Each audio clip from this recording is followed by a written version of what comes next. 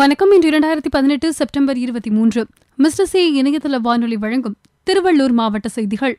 சுற்றுச்சூழலுக்கு பாதிப்பை ஏற்படுத்தும் பிளாஸ்டிக் பொருட்களை தவிர்த்து சுற்றுச்சூழல் மாசு இல்லாத மாவட்டமாக மாற்ற அதிகாரிகள் தொய்வின்றி பணியாற்ற வேண்டும் என்று அனைத்து துறை அலுவலர்களுடனான கலந்தாய்வு கூட்டத்தில் ஆட்சியர்குமார் வலியுறுத்தியுள்ளார்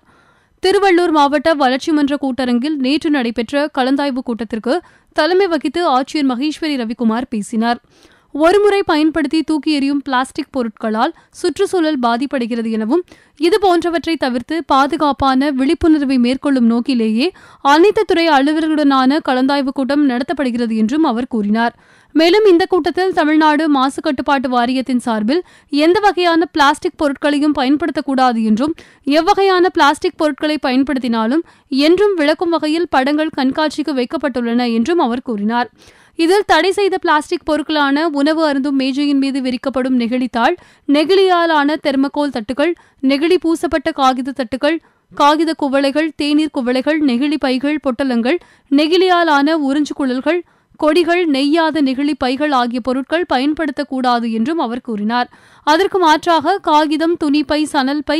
துணிக்கொடி வாழை இலை பாக்குமரத்தட்டு அலுமினிய பொருட்கள் தாமரை இலை கண்ணாடி மற்றும் உலோகப் பொருட்கள் மூங்கில் மரப்பொருட்கள் காகித உறிஞ்சு குழாய்கள் பீங்கான் பொருட்கள் மண் பொருட்கள் ஆகிய பொருட்கள் பயன்படுத்தக்கூடியது என்றும் அவர் கூறினார்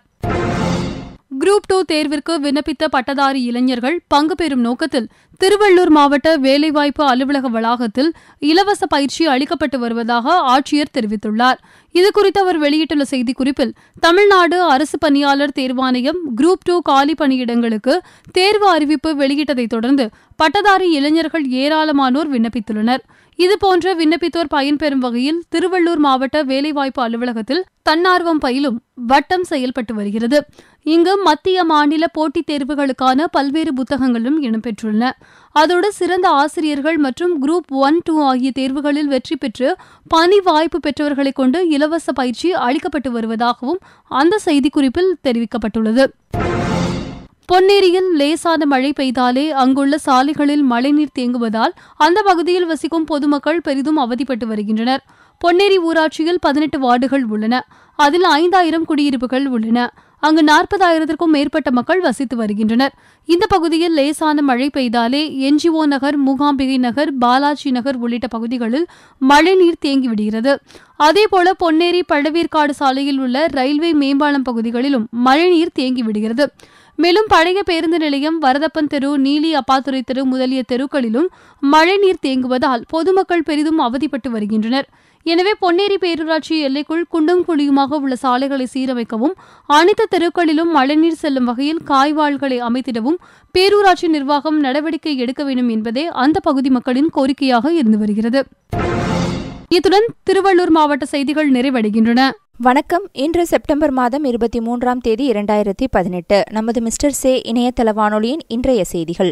வாசிப்பவர் இப்ராம் பெனாசிர் பெட்ரோல் டீசல் விலை உயர்வு மக்களிடையே துன்பத்தை ஏற்படுத்தியுள்ளதால் முதலில் அதில் கவனம் செலுத்துங்கள் என்று பிரதமர் மோடி ஊழல் புகாருக்கு ஒடிசா முதல் மந்திரி நவீன் பட்நாயக் பதிலடி கொடுத்துள்ளார் ரஃபேல் முறைகேடு விவகாரத்தில் காங்கிரஸ் மற்றும் பாஜக இடையே நாளுக்கு நாள் வார்த்தை போர் அதிகரித்து வரும் நிலையில் ராகுல் காந்தி பாகிஸ்தானுடன் மெகா கூட்டணி அமைத்துள்ளாரா என அமித்ஷா கேள்வி எழுப்பியுள்ளார் ரஃபேல் போர் விமானம் தொடர்பாக முறைகேடுகளுக்கு பிரதமர் மோடி தார்மீக பொறுப்பேற்று பதவியிலிருந்து விலக வேண்டும் என இந்திய கம்யூனிஸ்ட் கட்சி வலியுறுத்தியுள்ளது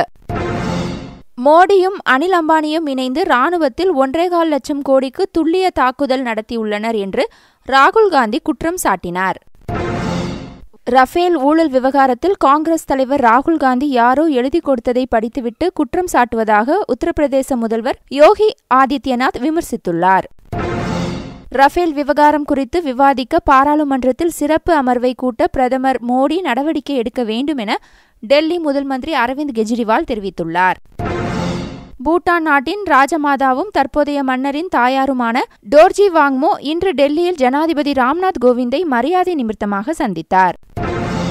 அமெரிக்காவில் நடைபெறவுள்ள எழுபத்தி மூன்றாவது ஐநா பொதுசபை கூட்டத்தில் பங்கேற்பதற்காக மத்திய வெளியுறவுத்துறை மந்திரி சுஷ்மா ஸ்வராஜ் நியூயார்க் நகர் வந்தடைந்தார் ரஷ்ய ராணுவ ஒத்துழைப்பில் தலையிட உங்களுக்கு உரிமை இல்லை என சீன ராணுவ செய்தி தொடர்பாளர் ஊ கியாங் கூறியுள்ளார் நைஜீரிய கடலில் பயணம் செய்த சுவிட்சர்லாந்தை சேர்ந்த சரக்கு கப்பலில் இருந்து பனிரண்டு மாலுமிகளை கடற்கொள்ளையர்கள் சிறைப்பிடித்து சென்றதாக தகவல் வெளியாகியுள்ளது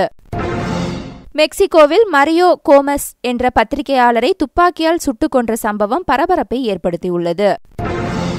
ஈரானில் ராணுவ அணிவகுப்பில் துப்பாக்கியால் சுட்டு பயங்கரவாதிகள் நடத்திய தாக்குதலில் வீரர்கள் உட்பட இருபத்தி நான்கு பேர் பலியாகினர் தாக்குதல் நடத்திய பயங்கரவாதிகளில் இரண்டு பேர் சுட்டுக் கொல்லப்பட்டனர் மதுரை மத்திய சிறையில் போலீசார் இன்று அதிரடி சோதனையின் போது சிறையில் இருந்து தடை செய்யப்பட்ட புகையிலை பொருட்கள் குட்கா பீடி சிகரெட் போன்றவை பறிமுதல் செய்யப்பட்டன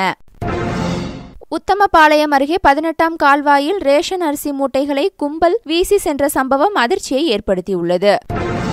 தமிழக அரசில் ஊழல் குற்றம் சாட்டப்பட்ட அமைச்சர்கள் உடனே பதவி விலக வேண்டும் என ஐஜேகே கட்சித் தலைவர் பச்சமுத்து கூறியுள்ளார் கேஸ் சிலிண்டர் எரிவாயு விலை உயர்வு காரணமாக கடலூர் மாவட்டம் விருதாச்சலத்தில் நடைபெற்ற திருமண விழாவில் மணமக்கள் செல்வகுமார் கஸ்தூரி தம்பதியினருக்கு அவர்களது நண்பர்கள் கேஸ் சிலிண்டர் அன்பளிப்பாக வழங்கினர் எம்எல்ஏ கருணாஸ் மீது போடப்பட்ட கொலை முயற்சி வழக்கு ரத்து செய்யப்பட்டுள்ளது அக்டோபர் ஐந்து வரை நீதிமன்ற காவலில் வைக்க உத்தரவிடப்பட்டுள்ளது ஸ்டெர்லைட் ஆலையில் ஆய்வுப் பணிகளை துவக்கியது பசுமை தீர்ப்பாய ஆய்வுக்குழு